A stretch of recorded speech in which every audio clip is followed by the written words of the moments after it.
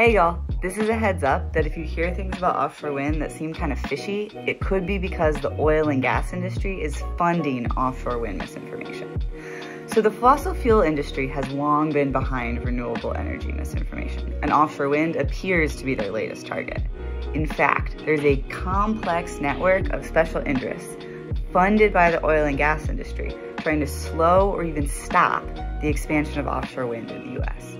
Money is flowing through fossil fuel interests, think tanks, and sham grassroots organizations, also known as astroturf groups. Now, many of these anti-wind groups have expressed concerns for wildlife, but then they support offshore oil drilling, which is in fact terrible for wildlife. Offshore wind is not actually bad for people or the planet. It's simply bad for the fossil fuel industry's bottom line.